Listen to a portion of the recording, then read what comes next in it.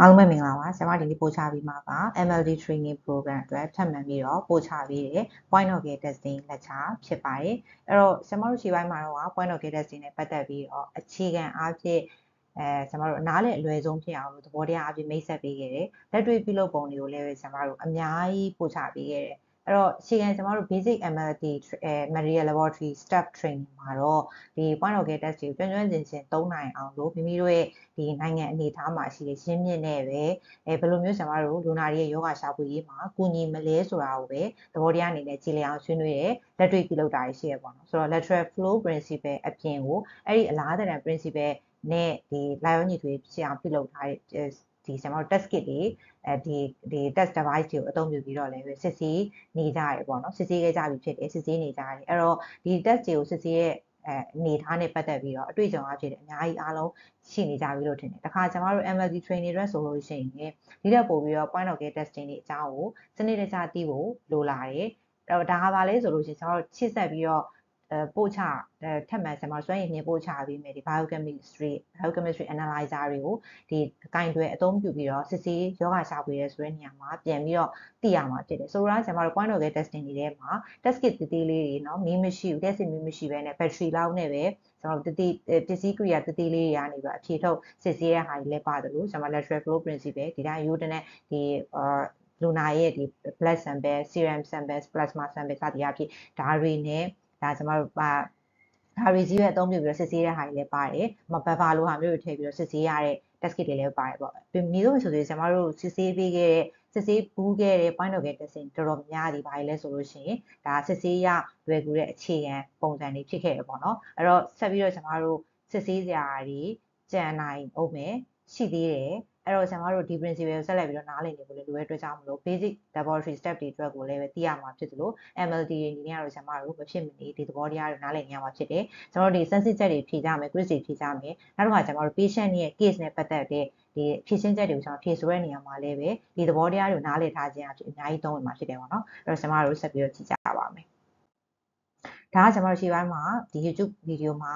ပြခဲ့တဲ့ အာ lecture တွေက point of care နဲ့ပတ်သက်ပြီးတော့ကျွန်တော်အခြေခံသဘောတရားပဲဆွေးနွေးသွားတာဒီနှစ်ခုပါတယ်ပေါ့နော်အဲ့တော့ဒီခါကကျတော့ point of care test အခြေခံသဘောတရားများကိုကျွန်မဒါအရင်ဆုံးစပြီးပို့ချရဲပေါ့နော် lateral flow principle ကိုအဓိကအဖြစ်ပို့ချခဲ့တယ်အဲ့နောက်မှာကျွန်မတို့ကကျွန်မတို့တကယ်တမ်းသွေးလှူပိုင် emergency blood banking service မှာမဖြစ်မနေတိုင်းတာပဲကျွန်မ hemoglobin ပေါ့နော်ဒါကိုကျွန်မတို့ကတိုင်းတာဖို့ရန်အတွက်ကိုဒီ principle ကိုအဓိကတင်တယ်တခါကျွန်မတို့တိုင်းတာစစ်ဆေးမှုများပြားပြီးတော့ခါကြတော့ result interpretation မှာလည်းပဲကျွန်မတို့ လိုအပ်တဲ့တချို့သော interpretation တွေကိုအသေးစိတ်သင်ဖို့အတွက်ကို urine နဲ့ပတ်သက်တဲ့ point of care လက်ဆိုကျွန်တော်ဒီစာသင်ခဲ့တယ်ပေါ့နော်အဓိကတော့ကျွန်တော် urine dipstick လေးတွေအကြောင်းကိုဒီစာပို့ချခဲ့တယ်နောက်တစ်ခါကျတော့ကျွန်တော် urine glucose တိုင်းတာရေးကိစ္စတွေပေါ့နော်အဲ့လိုမျိုးကျွန်တော်တို့ဒီတခြားသောကျွန်တော်တို့ point of care testing တွေတဲကမှာ urine တို့နောက် hemoglobin တို့နော် hemoglobin ဆိုလဲကျွန်တော်တို့ဒီဒီ paper လေးတွေနဲ့ပေါ့နော် calorie color paper လေးတွေနဲ့ပါကျွန်တော်တွဲဖက်ပြီးတော့စစ်ဆေးအဖြေတော့ရတဲ့ဟာလေးပဲတွဲဖက်ပြီးတော့ပို့ချခဲ့တယ်ပေါ့နော်ဒါတွေကဘာလဲဆိုလို့ရှိရင်ကျွန်တော်တို့မြန်မာနိုင်ငံနေတာလက်ရှိအနေအထားမှာကိုယ့်ရဲ့ဒီအာဒီပရိပကဖြစ်ပွားရဒေတာတွေမှာချက်ချင်းလန်ငင်ကိုယ့်ရဲ့ဒေတာကဒေတာရင်းပြည်သူလူထုကိုကျန်းမာရေးစားဆောင်ပေးနိုင်အောင် laboratory service တွေနဲ့ကျွန်တော်တို့ကအဓိကပူချပေးခဲ့တာဖြစ်တယ်ပေါ့နော်အဲ့တော့ဒါကြီးရပါလဲဆိုလို့ရှိရင်ရှေ့ပိုင်းအနှုံးကကျွန်တော်တို့ရဲ့ဒါအဓိကပို့ချပေးတဲ့ဒီ နားလည်အောင်ပြောတဲ့သဘောတရားတော့ဒီလက်ချနှစ်ခုရှိရပေါ့နော်ဆိုတော့ကျန်တဲ့ကောင်တွေထဲမှာတော့အဲယောဂတစ်ခုချင်းပေါ့ဥပမာကျွန်တော်တို့ဒီဆာမွန်နယ်လာတင်ရင်နေဒီဝီဒေါနဲ့ပတ်သက်တဲ့ test ကိုဒါ point of care test နေနဲ့ကျွန်တော်တို့ပို့ချပေးခဲ့တယ်လက်တွေ့မှာလည်းပဲတချို့ဒေတာတွေဆိုလို့ရှိရင် study တွေတောင်လုပ်ပြီးတော့ခါကျတော့ကျွန်တော်တို့ဒီစာဆောင်လေးတွေတောင်မှထုတ်ပြီးတော့အဲဒါလေးကိုကျွန်တော်တို့တေချာလေးလေ့လာခဲ့တဲ့နေရာအနေထားလေးလည်းရှိပါတယ်ဆိုတော့ဒါဘာလဲဆိုလို့ရှိရင် point of care test ရဲ့အခြေခံသဘောတရားကိုကျွန်တော်တို့ရင်းနှီးထားသလောက်ပေါ့ ပြောပြခြင်းဖြစ်ပါတယ်။အဲ့တော့ဒီမှာဆိုလို့ရှိရင်သွေးရတဲ့ဥစ္စာတွေယောဂါတွေထဲမှာဆိုလို့ရှိရင်ပဲကျွန်တော် test kit တွေစစ်ဆေးရဲဆိုတဲ့နေရာမှာစစ်ဆေးရဲပုံစံတွေအပြင် result interpretation ကိုပါကျွန်တော် antigen antibody သဘောရရင်တွေ့ဖက်ပြီးတော့ခါကျတော့ပို့ချခဲ့ပေါ့နော်။ဒါကတော့ကျွန်တော်တို့2020နှစ်အဲနှစ်နှစ်စာပိုင်းနှစ်စမ်းပိုင်းအဲနှစ်လေနှစ်ကုန်တို့တွေမှာဒါအခြေလေပို့ချခဲ့တဲ့ point of care test နဲ့ပတ်သက်တဲ့သင်ခန်းစာတွေနဲ့ဖြစ်ပါတယ်ဆိုတော့ဒါကြီးမတိုင်ခင်မှာလည်းပဲဒီမှာကြာတာဆိုကျွန်တော် antigen antibody ရဲ့သဘောတဘာဝကိုလည်းပဲကျွန်တော်အခြေခံအဖြစ်ပို့ချခဲ့ပေါ့နော်ဆစ်ဆက်ပြီးတော့လည်းပဲကျွန်တော်ဒီတက်ပို့ပြီးတော့နည်းနည်းအသေးသေးကြတဲ့ပုံစံဒီ laboratory technician တယောက်အနေနဲ့သိရမယ်ဒီ antigen antibody တွေကိုဘယ်လိုပြန်ပြီးတော့ကျွန်တော်တို့သိထားရမှာလဲ ဆိုတော့ကျွန်တော်ခုခံအားစနစ်ခန္ဓာကိုယ်ခုခံအားစနစ်ကြောင့်ထွက်ရှိလာတဲ့ဒီ antibody တွေကိုခုခံအားစနစ်ထဲထဲမှာပါဝင်လှုပ်ဆောင်တဲ့လုပ်ငန်းစဉ်တွေနဲ့နောက်သူ့ရဲ့ principle တွေနဲ့ကိုကျွန်တော်အသေးစိတ်ထပ်ပြီးတော့သိဖို့လိုပြန်နေပေါ့နော်ဒါတွေပဲကျွန်တော်ထပ်ပြီးတော့ပို့ချသွားအောင်မှာဖြစ်ပါတယ်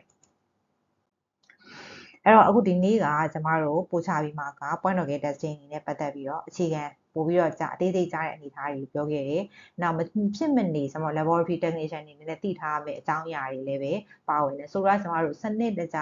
အဲဒီသူ့ရဲ့သတ်မှတ်ထားတဲ့ guideline တွေ regulation တွေနောက်တစ်ခါ law တွေရှိတယ် ဥပဒေလိုပြီးတက်မှတ်ပြထိုင်ထားတဲ့ကိစ္စတွေလည်းပဲရှိတယ်ဆိုတော့ကျွန်တော်တို့မြန်မာနိုင်ငံမှာမရှိဘူးဆိုပေမဲ့တကယ်နဲ့ကျွန်တော်တို့သုံးမယ်ဆိုလို့ရှိရင် point of care test ကိုအဲ့လို C နဲ့စနစ်နဲ့သုံးမှသာလျှင် law တွေပြထမ်းပြီးသုံးမှသာလျှင်ဒီ test တွေရဲ့ reliability လို့ခေါ်တဲ့ယုံကြည်စိတ်ချနိုင်ကြောင်းကျွန်တော်တို့ကဒါရရှိနိုင်မှာဖြစ်တယ်ပေါ့ဆိုတော့ကျွန်တော်တို့တိုင်းတော့တိုင်းနဲ့ test kit ပဲအမှန်နဲ့ဒီဆက်ကကောင်းတဲ့ brand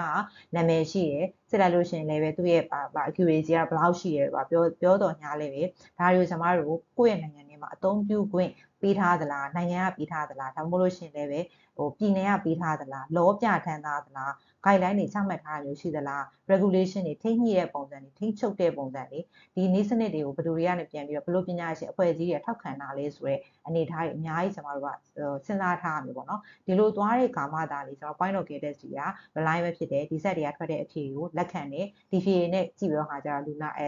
လူနာတွေကျွန်တော်တို့ဆေးဆရာဝန်တွေကနေပြီးတော့ယောဂကုသကြရဲဆိုတဲ့ဟာမျိုးဆိုတော့လက်ခံတာဖြစ်တယ်ပေါ့နော်အဲ့တော့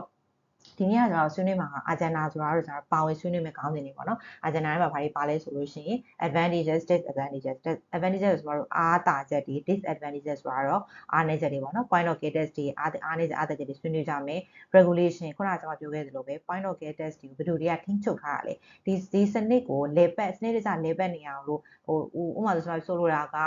test test kit တွေကထွက်လာတဲ့ဒီထားလိုက်ပါတော့ဒီ point of care test လုပ်တဲ့ကျွန်တော်ဆက်ပစ္စည်းတစ်ခုပေါ့ဒီမှာဆိုဒီပစ္စည်းလေးတစ်ခုပေါ့နော်ဒီကနေထွက်လာတဲ့အဖြေတစ်ခုကိုဘယ်လိုယူဆမှာလဲဒီကထွက်လာတဲ့အဖြေဒီ အဲကဏ္ဍတစ်ခုထွက်တယ်ဆိုကြပါစို့ဒါဒီကျွန်တော် normal range ထဲမှာဝင်နေထားလိုက်အောင်ဆက်ဆက်ဆက်ကအဲဒီ company ကနေထုတ်ပေးလိုက်တယ် normal range ထဲမှာဝင်နေတာဆိုတော့တတ်မှတ်ပေးလိုက်တယ်ဆိုပေမဲ့လည်းပဲဒီဆက်ကထွက်လာတဲ့အဖြေကိုလူနာရောဂါကုတဲ့အခါမှာဘယ်လိုယူဆမှာလဲတဲ့ကြီးပဲဒီဖြေတိုင်းမှန်တယ်ဆိုယူဆမှာဒါမှမဟုတ်ရှင်လည်းဒီဖြေဒီဘယ်လောက်ထိသူ့ရဲ့ quality ကတော့ရှိတယ်ဆိုတော့သတ်မှတ်ထားပြီးတော့မှဒါလည်းဒီအတိုင်းတာအတွင်းမှာတော့ဘယ်လောက်ထိတော့သုံးဘယ်လောက်ကျော်လို့ရှင်တော့ဒီဖြေတွေကိုတော့ဘယ်လိုမျိုးကျွန်တော်တို့ interpret ပြန်လုပ်ရမလဲပြန်ပြီးတော့ဒီဖြေတွေကိုဒီအလုံးတိုင်းအရင်တိုင်းယူစရာမလိုဘူးနောက်တစ်ခါကျတော့ဒီကိုယ့်ရဲ့ data ရင်းမှာဆိုလို့ရှိရင်ရောဒီ test data ကိုစစ်ဆေးမယ်ဆိုလို့ရှိရင်တော့သူ့ရဲ့အဲယုံကြည်စိတ်ချနိုင်ဆိုတာဒီ data အတွက်ဆိုတော့ဘယ်လောက်ရှိလဲပေါ့နော်အဲ့ဒီပုံမူတည်ပြီးဒီ set ကိုဘယ်လောက်တော့ပြသုံးပါလဲဆိုတော့ကျွန်တော်တို့အတိအကျစစ်ဆေးလို့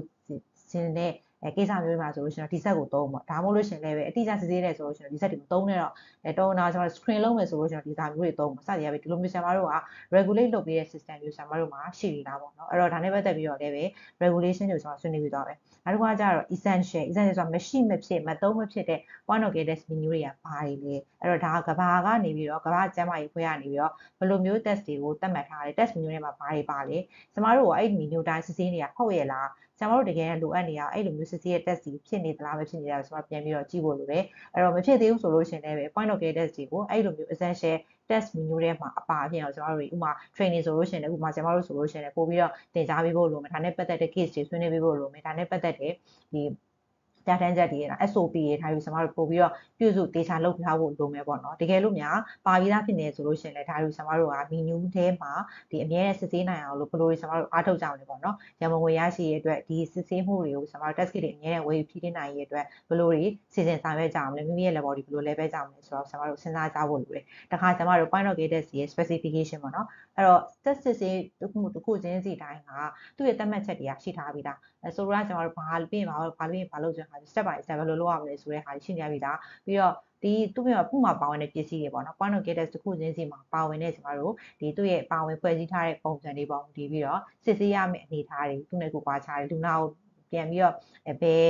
အပိုင်းဘလို့ပိုင်းခြားမှာကျွန်တော်တို့စစ်ဆေးမှာလဲဆိုတာကလေးပဲစကားပြောပါဒါတွေကဘာလဲဆိုလို့ရှိရင် point of gate ရဲ့ specification တွေဖြစ်ကြတယ်ဒါတွေလည်းပဲကျွန်တော် analysis ဆွေးနွေးပြီးတော့မယ်နောက်တစ်ခါကျတော့အမျိုးအစားတွေပေါ့နော်ဘယ်လိုမျိုးကျွန်တော်တို့ test အမျိုးအစားတွေ type တွေ methodology ကိုအသုံးပြုရတဲ့အခါကျတော့ point of gate တွေစဉ်းစားမှာလေပေါ့နော်အဲကျွန်တော်တို့အဓိကသိထားတာက point of gate တွေ lateral flow principle ကိုဒါအဓိကသိထားတယ်ဒါကနောက်တဲ့ကျွန်တော်တို့ဒီ analyzer လေးတွေကတခဲလေးထည့်ပြီးတော့ battery လေးထည့်ပြီးတော့ခါကြတော့စစ်ဆေးရတယ် glucometer တို့ hemoglobinometer တို့ဒီဟာလေးတွေပါလဲဆိုလို့ရှိရင်ဒီအာသူ့ရဲ့ဒီစစ်ဆေးတဲ့ဒီအာ methodology တွေ type တွေပေါ့ဟိုဒီပြီးတော့ခါကျတော့ပြန်ပြီးတော့ဒါဟိုစဉ်းစားရတာဖြစ်တယ်ပေါ့နော်ပြန်ပြီးတော့ခါကျအမျိုးအစားပြန်ခွဲရတာဖြစ်တယ်ဆိုတော့အဲ့ဒီ type တွေ methodology တွေကဟိုဘာတွေလဲပေါ့နော် ဟို immuno immuno နီးပညာတော့ဒါမှမဟုတ်လို့ရှင်လည်း uterine ဒီ cam အဲဟိုပါပေါ့ဒီ reflect reflectometry လာဒါမှမဟုတ်လို့ရှင်လည်းပဲကျွန်တော်တို့ရှိဒီ biochemistry analyzer တွေကြောင့်မိတ်ဆက်ပြီးတော့သင်ခဲ့တယ် calorimeter ပေါ့အခြေခံတာလားပေါ့နော်အဲ့လိုဘယ်လို methodology ပေါ့အခြေခံတာလဲဘယ်လိုမျိုးအမျိုးအစားစစ်ဆေးမှုတွေရှိရလဲဆိုတော့လို့ကျွန်တော်တို့အကြံဉာဏ်အားပဲတည်ထားဖို့လိုတယ်နောက်ဆုံးတော့ကျွန်တော်တို့ juicy ပေါ့နော် point of gates ရဲ့ quality control ကိုကျွန်တော်ဘယ်လိုထိန်းချုပ်လဲပေါ့အဲ့တော့ ဒါနဲ့ပတ်သက်ပြီးရှင်ကဆရာမတို့ပြောခဲ့ပြီးသား point of gates တွေဒီမကောင်းလားဆိုတော့ကောင်းတယ်သူတို့တွေဒီဒါအချိန်ကုန်သက်တာတွေငွေကြေးကုန်ကြမှုအများကြီးချုပ်မိသားဖြစ်သွားတယ်။စစ်ချင်းလည်းငယ်အဖြေသိရတယ်။အဲ့တော့မြဲမြဲစင်စင်လူနာကိုစီးအောင်တင်မာလာတော့မတက်ဘူးလားတော့ emergency မှာဆိုလို့ရှိရင်အများဆုံးဆရာမတို့အဖြေထုတ်ပေးနိုင်တဲ့အတွက်ကြောင့်မလို့ point of gates ရဲ့အားသာချက်တွေအများကြီးရှိတဲ့အကြောင်းပြောခဲ့ရဆိုပေမဲ့အဲ့ဒီလိုမျိုးအစင်ဆက် စနစ်တကျမတော်ရတဲ့အတွက်ကြောင့်မလို့အဲ့လိုမျိုး quality control မရတဲ့အတွက်ကြောင့်မလို့ point of gates တွေရဲ့ကြိုစီရကြဘယ်လောက်ထိဆုံးချင်းချရမှုရှိမှလဲဆိုတော့ကျွန်တော်မိကုန်းထုတ်ချာရှိရဲဆိုပြီးခါကျရှေ့ပိုင်းတော့ပြောခဲ့ဆိုတော့အဲ့ဒီလိုမျိုးကြိုစီရရအောင်ကျွန်တော်ဘယ်လိုမျိုးအဲ regulation တွေ guideline တွေကိုလိုက်နာကြမလဲဘယ်လိုမျိုး principle တွေလိုက်လာကြမလဲဘာတွေချမှတ်ထားတဲ့ဟာမျိုးရှိလဲအဲ့တော့ကျွန်တော်တို့လက်ထဲမှာလောလောဆယ် laboratory ဒီ step တွေအနေနဲ့ဒါသုံးလို့ရမယ်ဟိုစစ်ဆေးပေးလို့ရမယ်ဒီ point of gates တွေအနေနဲ့ဆိုလို့ရှိရင်တော့ QC ကိုဘယ်လိုထိန်းညှိကြမလဲပေါ့နော်ဒါတွေလည်းပဲကျွန်တော်တို့သိထားဖို့လိုတယ်ပေါ့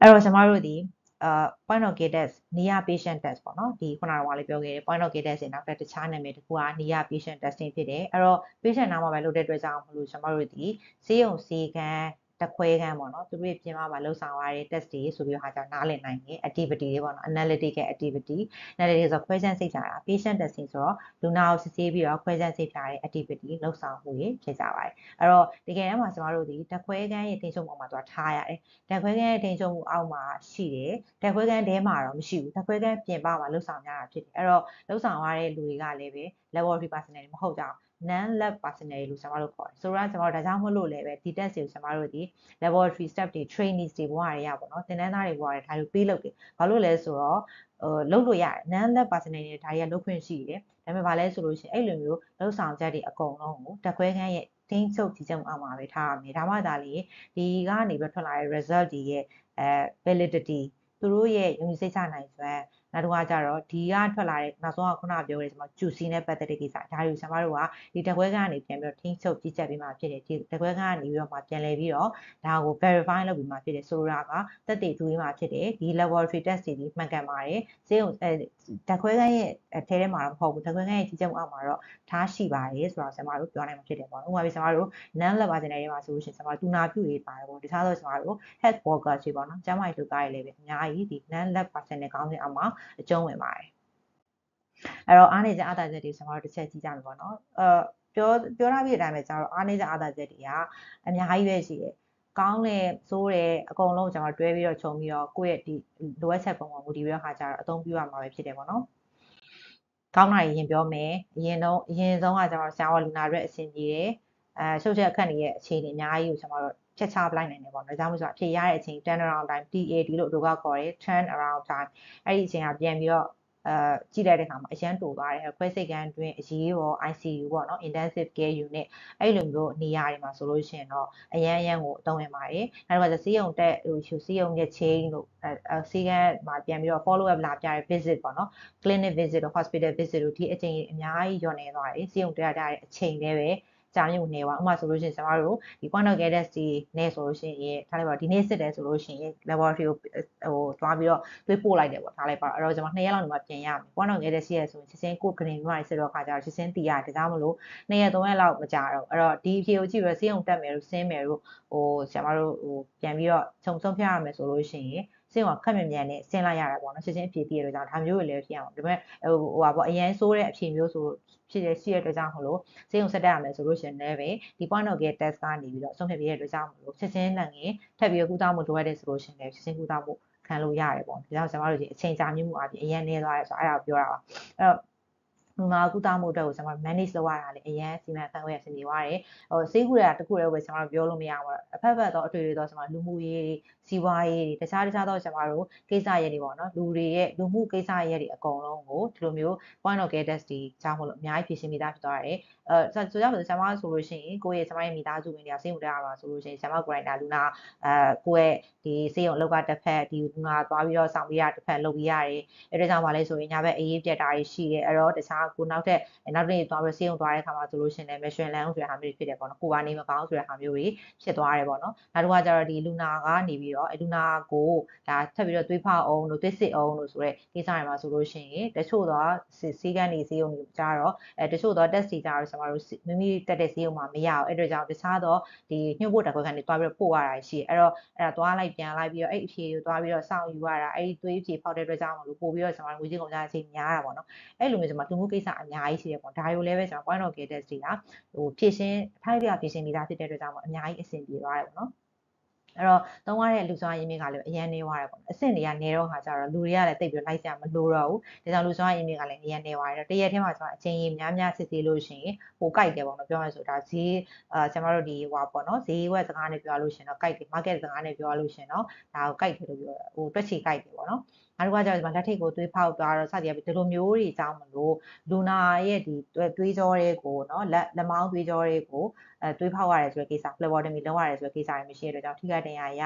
တာစသည်အဖြစ် sample ယူတဲ့ပမာဏကလည်းနည်းနည်းလေးပေါ့နော်သွေးဆိုလို့ရှိရင်လက်ထိတ်ကဆိုသေးလေးပေါ့နော်နောက်တချို့တော့ကျွန်တော်တိုးဘက်နမူနာတွေရှိတယ်အဲ့တော့အာကောင်တွေကတိုးဘက်နမူနာနှာခေါင်းတွေကတိုးဘက်နမူနာစသည်အဖြစ်ဒီလိုဟာမျိုးလေးကြောင်းလည်းနည်းနည်းလေးယူလိုက်တာနဲ့ဒါယောဂရှာလို့ရပြီဆိုတော့အင်မတန်အဆင်ပြေရပေါ့ဒါကပါလေဆိုရင် point of care test ရဲ့အားသာချက်တွေဖြစ်ကြပါတယ်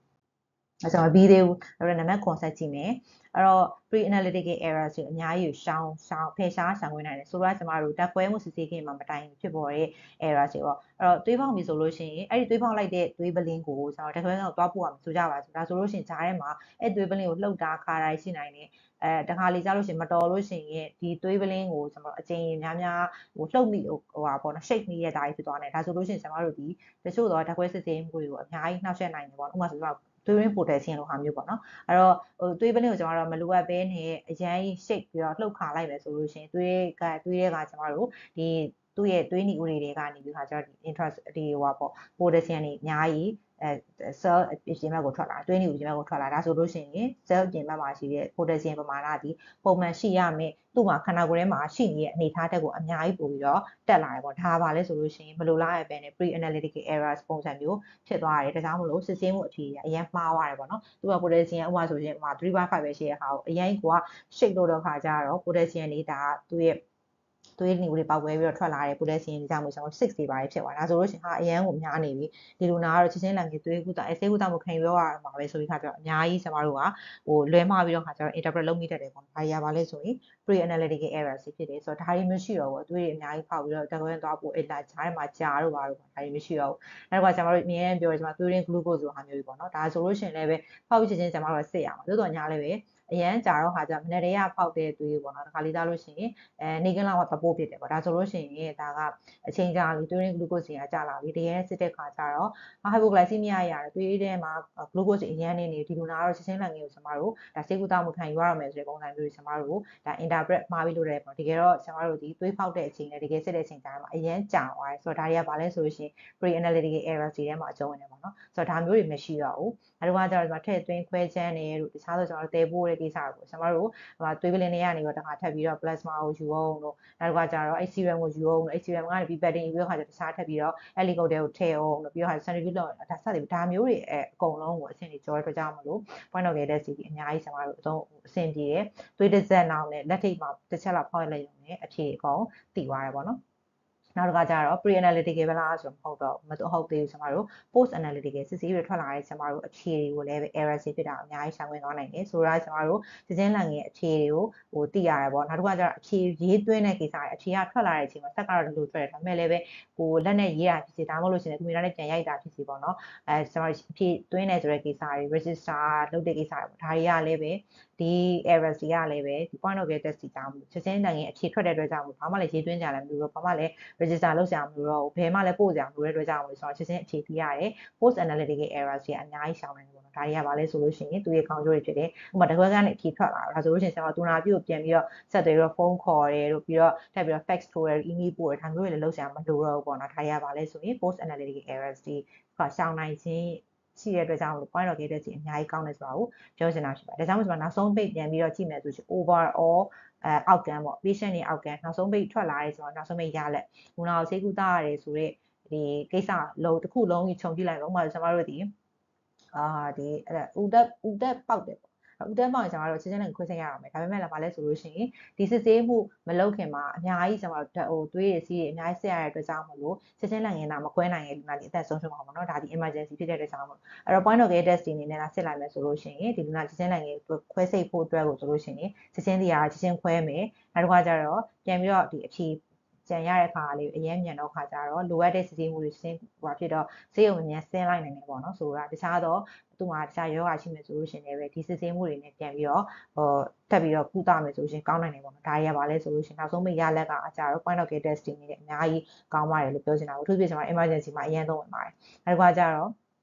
စစ်ဆေးတက်ခွဲရလွယ်တဲ့ analyze တွေပို့ပြီးတော့များလာတယ်ပေါ့နော်ဆိုတော့ကျွန်တော်အဲ့လိုလေးတွန်းတွင်းကြဲကြဲသုံးလာလေးလေး point of care test တွေကျွန်တော်တို့များများစစ်လာတဲ့အတွက်ကြောင့်မလို့စစ်ဆေးရလေပို့ပြီးတော့ဒီစနစ်တွေကလည်းလွယ်လာတယ်ပေါ့နော်ဒါကိုဆိုတော့ဖြစ်ပါတယ်နောက်တစ်ခါကျတော့အခြေခံအဆောက်အအုံရှင်းမြစ်တွေလူစွမ်းရင်းမြစ်တအားနေပါတဲ့ data တွေပါဆိုလို့ရှိရင် laboratory personnel တွေမဟုတ်လဲပဲကျွန်တော်လူတွေလုပ်လို့ရတဲ့အတွက်ကြောင့်မလို့ကြီးလက် data ရင်းမြစ်နေပါတဲ့ data တွေမှာဆိုလို့ရှိရင်ကျွန်တော်တို့ low resource setting မှာဆိုလို့ရှိရင်တော့အခြေကျေပြည့်ပြည့်သုံးလာနိုင်တဲ့အတွက်ကြောင့်မလို့သူ့ရဲ့ကောင်းကျိုးတွေဟာအများကြီးကိုရှိပါတယ်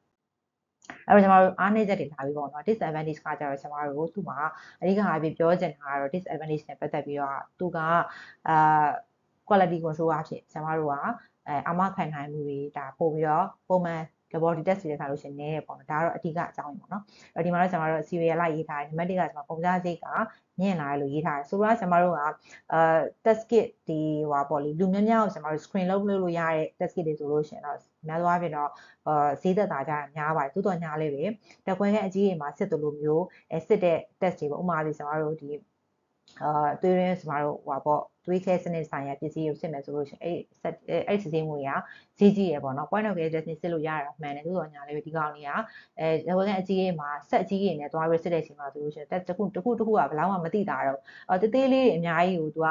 analyzer အနေနဲ့စစ်မယ်ဆိုရင်ကျတော့ဒီကောင်ကကျတော့ပို့ပြီးတော့ပမာဏအဖြစ်ဈေးကြီးသွားတယ်ပေါ့ထောက်ဆိုတာပေါ့အဲ့တော့ disposable reagent တွေသုံးရတယ် analyzer one of this analyzer set အသေးကိုနိုင်ကဈေးကြီးရဒါကြောင့်မလို့ဗာလဲဆိုလို့ရှိရင်တချို့တော့ဒီ analyzer တွေနဲ့စစ်ဆေးမယ်ဆိုလို့ရှိရင်တော့ဈေးကြီးရပေါ့နော်ဟို test kit တို့ lateral flow တို့ကတော့မပါဘူးပေါ့ဒီထဲမှာကျတော့ဒါပေမဲ့ lateral flow ထဲမှာလည်းပဲ index ဈေးကြီးရဲ့အဲတချို့တော့ကျမတို့ဒီစစ်ဆေးမှုတွေရှိဥပမာဆိုကျမပြီးခဲ့တဲ့ training ပေါ့နော်ဒီ TV မှာလည်းကျမတို့ဒီ urine ကနေပဲစစ်ဆေးရဲ့ဒီအဲဟိုဟာကကြတော့ဒီ urine နဲ့ပတ်သက်ပြီးတော့ဒီ urine မှာသွားပြီးစစ်ဆေးရဲ့ TV နဲ့ပတ်သက်တဲ့ဒီ အမှတ်သားကကြတော့သူ့ရဲ့အနေချင်းအမှတ်သားသွားပြီးစစ်မယ်ဆိုလို့ရှိရင်တော့စီးကြည့်ရယ်မကောင်းလားဆိုတော့ကောင်းတယ်ပေါ့နော်စစ်ဆေးနိုင်မှုစွမ်းရည်မြင့်ပါတယ်ဆိုတော့ညာလေးပဲဒီကောင်ဒီ implant စီးကြည့်ရယ်ပေါ့အဲ့တော့ဒါကဘာလဲဆိုလို့ရှိရင်ဈေးနှုန်းသက်တာတွေတခြားတော့ဒီ Microsoft examination တို့လိုမျိုးနောက်က Tuberculin skin test ဆိုစသည်ဒါမျိုးတွေထက်ကြတော့သူကပို့ပြီးတော့ဈေးကြီးနေတယ်ပေါ့နော် point of care test ဖြစ်တော့ညာလေးဒါမျိုးတွေရှိရပေါ့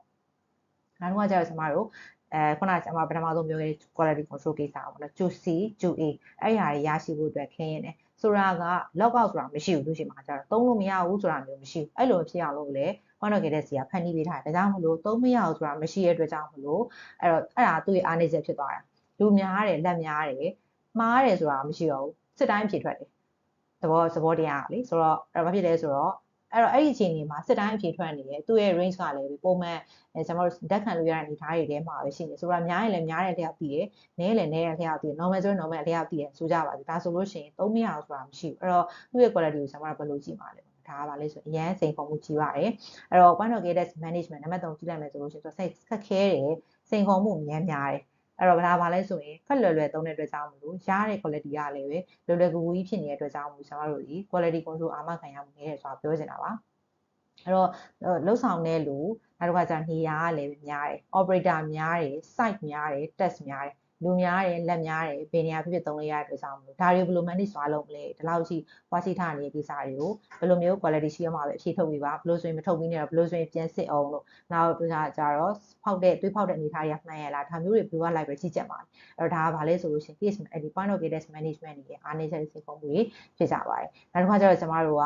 အဲ testing step ပေါ့နော်တကယ်စစ်ဆေးပြီးဥမာ laboratory step ဆိုလို့ရှိရင်သူကနေပြီးတော့အကုန်လုံးမှတ်ထားလုံနိုင်ဘူး pre analytical မှာဘာလုပ်ထားလဲ post analytical ဘာလုပ်လဲ post analytical ဒီဖြစ်သမျှကိစ္စတွေအကုန်လုံးသူကနေပြီးတော့မမှတ်ထားနိုင်မှတ်တမ်းမတင်ထားနိုင်ဆိုတော့ဒါဘာလဲဆိုလို့ရှိရင် register အရာကျွန်တော် documentation အရာအားနေတယ်ပေါ့နော်ဒါကဘာလဲဆိုလို့ရှိရင် point of care test ရဲ့ဒီ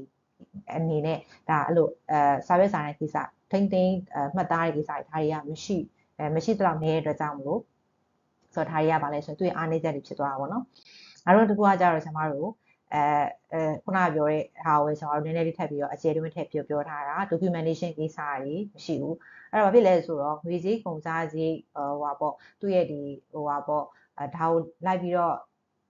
မှတ်ထားတာပေါ့ဘယ်လောက်ကုန်သွားလဲ test တစ်ခုဆိုလို့ရှိရင်သူ့ရဲ့ကုန်ကြစည်ကတော့ဘယ်လောက်ထိရှိသွားလဲဆိုတော့ပါ test ဆိုတာနော် test တစ်ခုချင်းတစ်ခုချင်းနေလိုက်ဘယ်လောက်ရှိတယ်ဆိုတာကိုမှတ်မှတ်ထားနိုင်တယ်အဲ့တော့ အဲ့ဒီတိုင်းကိုကျွန်တော်လိုက်ပြီးတော့ compliance လို့ခေါ်တယ်သူဘယ်လောက်ဆိုရင်ဘယ်လောက်ကုန်လဲဆိုလို့ရှိရင်ဘယ်လိုအဲဘယ်လို manage လုပ်ပါတော့အဲဒီဒီဘယ်လောက်တော့ကုန်ကြတယ်ထားလိုက်ပါလို့ဆိုတော့100ကုန်မယ်ဒါမှမဟုတ်လို့ရှိရင်1000ကုန်မယ်ဆိုလို့ရှိရင်အဲ့လိုမျိုး test တစ်ခုချင်းစီအတွက်ကိုလိုက်ပြီးတော့မှတ်ထားတာမရှိတဲ့အတွက်ကြောင့်မလို့အဲ့လောက်ကိုအဲကုန်ကြတဲ့လောက်ကိုပြန်ပြီးတော့စစ်ဆေးလှုပ်ဆောင်နိုင်ဖို့ဒါမျိုးတွေဆံမတို့က compliance ရမရှိသလောက်နေသွားတယ် ဒါကဘာလဲဆိုလို့ရှိရင်ပုံမှန်တိုင်း laboratory ထဲမှာ test set တွေနဲ့တစ်ခုချင်းတစ်ခုချင်းတွေလိုက် run သွားမယ်ဆိုလို့ရှိရင်အဲ့ test တစ်ခုချင်းတွေလိုက်ကျွန်တော် analyze လုပ်ထားတဲ့ကိစ္စရပ်တွေပေါ့နော်ဒါမျိုးတွေမရှိတော့ဘူးအဲဒီ point of care test တွေဒါကဘာလဲဆိုရင်သူအားနေချက်နောက်တစ်ခုဖြစ်တယ် နောက်တစ်ခါကျတော့ point of care test တွေကကျွန်တော်ဆေးရုံဒီမှာဆိုလို့ရှိရင်သူ့ရဲ့ဆေးရုံမှာရှိတဲ့လူနာရဲ့ electronic health record ဆိုတာရှိတယ်အဲ့တော့အဲများသောအားဖြင့်ကတော့ကျွန်တော်တို့ရှိတတ်ကြတယ်ပေါ့နော်ဆေးရုံဟိုကြီးမှာရှိတတ်ကြတယ်အဲ့တော့နယ်ဆေးရုံတို့ဘာတော့မှာတော့မရှိဘူးပေါ့အဲ့တော့ electronic record ထဲမှာသူကမချိတဲ့အတွက်ကြောင့်အဲ့ထဲမှာမရှိဘူး point of care test ရဲ့အဖြေကသွားပြီးကြည့်လို့မရတော့ဘူးအဲ့တော့ဘာလဲဆိုလို့ရှိရင်အထူးသဖြင့်ကတော့အသုံးဝင်တာကြတော့ကျွန်တော်တို့ဟိုနှစ်ရှည်လာများဆေးကုသမှုခံယူနေတဲ့လူနာအဟောင်းတွေဆိုလို့ရှိရင်သူတို့ရဲ့ health record တွေကထားထားတယ် ပေါ့နော်မဟုတ်ရင်တော့ဗာဆေးတွေပေးထားလေအခုလက်ရှိမှာဗာဆေးပေးရမလဲဆိုတာကိုအာလူနာအနေနဲ့သူ့မှာအမှတ်တမ်းတွေအားလုံးလည်းတင်ထားခြင်းမှာတင်ထားနိုင်တယ်ပေါ့ဒါမျိုးတွေရှိမယ်ဆိုတော့ဒါတွေအကြောင်းမို့လို့ဒီ point of care test တွေအနေနဲ့တွားပြီးတော့ link မရှိထားတဲ့အတွက်ကြောင့်မလို့လူနာရဲ့အဖြေ health record တွေကိုအနေနဲ့ပြန်ချိန်ဆရမှာအင်မတန်အားနေနိုင်ပါတယ်နောက်တစ်ခါကျတော့ reagent supply အဲဒီထားဆိုတဲ့ကိစ္စတွေနော် storage ကိစ္စတွေပေါ့အဲ့တော့ ဟိုကျွန်တော်တို့အများပြောကြရပေါ့နော် reagent တွေဆိုလို့ရှိရင်တော့မှဒီဟိုဟာမှာထားရေခဲတတာပေါ့နော်ဒီမှာ refrigerator မှာထည့်တာအဲဟိုထုတ်သုံးဝင်နေလို့ရှိရင်ကျွန်တော်တို့ပြန်ပြီးတော့ room temperature မှာထားထားပြီးတော့ကျွန်တော်သုံးလို့ဆိုပြီးခါကျတော့ပြောကြရပေါ့နော်အဲ့တော့ဟိုကျွန်တော် point of care တဲ့ဆိုတဲ့နေရာဆိုမှတော့